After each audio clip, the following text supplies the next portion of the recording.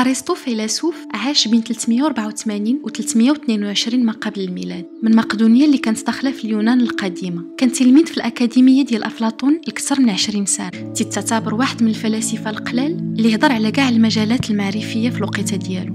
اهتمامه كان مركز على الطبيعة الحية بالتالي ما كانش غير آخر فيلسوف في اليونان بل وكذلك أول عالم أحياء في أوروبا. في عام 338 قبل الميلاد أرسطو كان هو المدرس ديال الإسكندر الأكبر. ابن الملك فيليب الثاني. هادشي اللي خلى تكون عنده مكانة مهمة في ديك الوقيتة.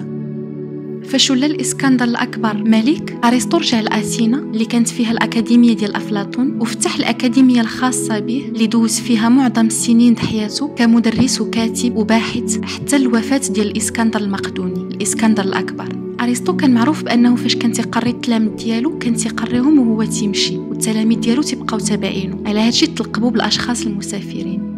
هاد الأكاديمية ديال أرسطو كانت تهتم بمختلف العلوم الرياضيات الفلسفة السياسة والفن. دون فيها أرسطو التلاميذ ديالو الملاحظات ديالهم في مخطوطات شكلت واحدة من أهم المكتبات في العالم. أرسطو كتب ما يقارب 200 عمل أغلبيتهم كان على شكل ملاحظات ومخطوطات. ومن أصل هاد 200 عمل بقات منها غير 31 اللي متداولة الاستاذ ديالو أفلاطون كان مركز الاهتمام ديالو على العالم ديال الأفكار. لواحد الحد اللي تيجعلو ما عطى حتى شي اهتمام للظواهر الطبيعية ودورات الحياة. وإلا مشينا بعيد نقدر نقولوا أن أفلاطون دور ظهره للعالم ديال الحواس بحيث أنه بغى يخرج من الكهف باش تكون عنده نظرة على عالم الأفكار الواضح. أرسطو دار العكس تماما تحنى على يديه ورجليه باش يدرس الحشرات والأسماك الضفادع والورود والأزهار. أفلاطون كان تيستعمل غير العقل ديالو ولكن أرسطو كان تيستخدم العقل بالإضافة للحواس. الفرق بين النظرية ديال أرسطو وأفلاطون هي أن أفلاطون تيشوف أن أعلى درجات الواقع كاينة في الأفكار ديالنا. داكشي اللي تنفكروا فيه بواسطة العقل. بينما أرسطو تيشوف أن أعلى درجات الواقع هي كل ما هو تندركوه بالحواس ديالنا. أفلاطون تيشوف أن أي حاجة تنشوفوها قدامنا ولا دايرة بينا هي غير انعكاس لشي حاجة كاينة في العالم ديال الأفكار. بينما ارسطو العكس تيشوف أن داكشي اللي كاين في النفس البشرية هو غير انعكاس لأشياء طبيعية أشياء اللي كاينة في الطبيعة والطبيعة بوحدها تتشكل العالم الحقيقي. على حساب أرسطو حتى حاجة ما تتكون متواجدة في الوعي ديالنا قبل ما ندركوها بالحواس. العكس تماما عند أفلاطون اللي قال أن حتى حاجة ما كاينة في العالم ديال الحواس ما كانش déjà في العالم ديال الأفكار.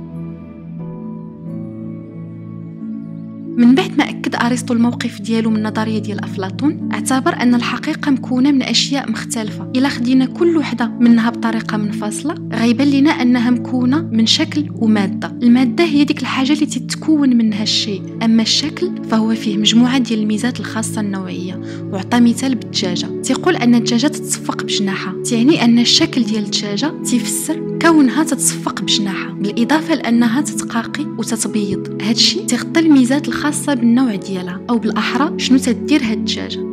فاش تتموت وتتوقف على المقاقات والتصفيق بالجناحين ديالها تتوقف الشكل ديالها وما تيبقاش موجود. الحاجة اللي تتبقى منها هي المادة. تعني أنها ما تتبقاش دجاجة بمعنى الكلمة. أما بالنسبة للبيضة ديال الدجاجة فهي الدجاجة بنفسها واخا ما تعنيش أن كاع البيضات غيوليو دجاجات حيت بزاف منها غيسالي بها المطاف كبيضة مسلوقة في الفطور ولا أومليت. الشيء اللي ما تسمح لهاش تكون في الشكل المفترض اللي هو الدجاجة. ولكن هاد البيضة اللي تسلقات ولا اللي تقلات ما عمرها ما كانت غتخرج شي بطة ولا وزة ولا حجلة. حيت هاد الإمكانية ما كانش في هاد البيضة أصلا. لأن الشكل د الحاجة هو اللي تيدلنا وتيورينا أشنو غادي تولي ديك الحاجة. ماشي غير هادشي بوحدو. ولكن بالإضافة لأنه تيرسم لنا الحدود ديال هاد الحاجة. تلعب الفرق بين الشكل والمادة دور مهم فاش توصف أرسطو الكيفية ديال تمييز الإنسان للأشياء في العالم. تنستفوا الأشياء اللي تندركوها في مجموعات وفصائل متنوعة. تنشوفوا حصان وتنشوفوا واحد آخر وواحد آخر. ماشي كاع الأحصنة متشابهة تماما ولكن كاين شيء مشترك بيناتها كلها. هذا عنصر التشابه تيكون بتحديد شكل الحصان. أما الشيء اللي تيميز حصان على الآخر ترجع للمادة ديال الحصان. هادشي اللي طاري في العالم. تنفصلوا الأشياء وتنصنفوها تنحطوا البقر في الكوري والخيل في الاسطبل وبنادم في الديور. كما تيدير حتى بنادم نيت بنفسه فاش تيحط حوايجو في بلاكار الصابون في الحمام الماعن في الكوزينة. تنميزو بين الأشياء اللي مصايبة بالحجر والصوفة والبلاستيك. تنميزو بين الأشياء الحية والجامدة. تنميزو كذلك بين النباتات والحيوانات والإنسان. المفهوم اللي كان عند أرسطو للمجتمع هو أن الإنسان خاصو ما يتوقفش عند مظهر واحد من المظاهر ديال الأشياء حيث الإنسان حيوان اجتماعي على حد قوله. وبلا مجتمع داير بينا ما تنكونوش بشر حقيقيين حيث الأسرة والقرية والمدينة هما اللي تيغطيو كاع الحاجيات الأساسية للحياة بحال الغذاء الدفء الزواج وتربية الأطفال. أما الشكل الأعلى ديال المجتمع فما يمكنش يكون من غير الدولة. هنا فين تهضر لنا أرسطو على ثلاثة ديال الأشكال الناجحة للدولة. الشكل الأول تيكون فيها غير رئيس واحد بحيث تيكون هذا الشكل صالح وما خصوش يخضع للطغيان أي ما خاصش يكون راجل واحد تيوجه الأمور لمصلحته الشخصية. الشكل الثاني هو الأرستقراطية بحيث تلقاو أعداد متفاوتة بين المسؤولين وخاص الحرص على عدم تحول هذا الشكل اللعبه في يد مجموعة من الحكام. أما الشكل الثالث فأرسطو تسميه بالديمقراطية ولكنه تقول أن هذا الشكل هو عنده مخاطر بحيث أنه تقدر تحول الدولة من ديمقراطية لشمولية.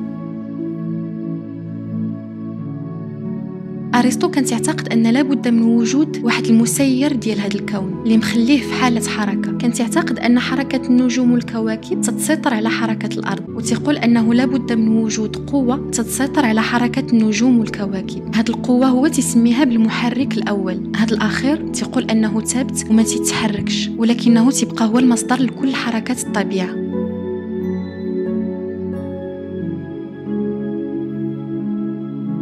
باش نعيشوا حياة متفتحة؟ أرسطو يقول أن الإنسان ما تيكونش سعيد إلا لما كاع القدرات اللي تمتلكها. وهنايا تيميز بين ثلاثة ديال الأنواع ديال السعادة. الأول هو أن الحياة متعة وتسلية. الثاني هو تعيش كمواطن حر ومسؤول. والثالث هي تعيش كعالم وفيلسوف تيقول أن هاد الأنواع بثلاثة بهم خصهم يتوفروا ويتجمعوا عند الإنسان باش يقدر يعيش حياة سعيدة بحيث أنه ترفض جميع أنواع التحيز.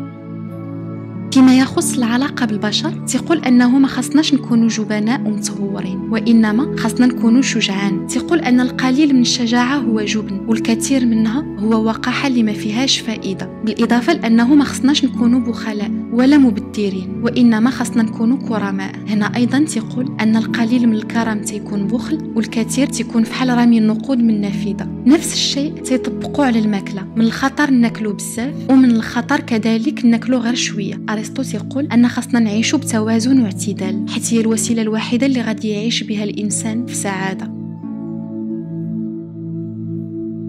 أرسطو كانت عنده نظرة مختلفة على المرأة. كانت يعتقد أن شي حاجة ناقصاها.